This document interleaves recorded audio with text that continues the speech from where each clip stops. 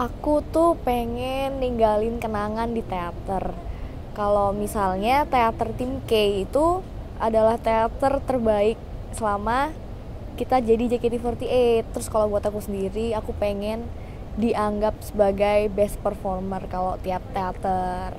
Jadi aku bakal berusaha buat selalu jadi yang terbaik buat aku sendiri dan buat tim K3 jadi dengan ulang tahun teater ketiga ini semoga tim K3 dan aku bisa jadi lebih baik. Dah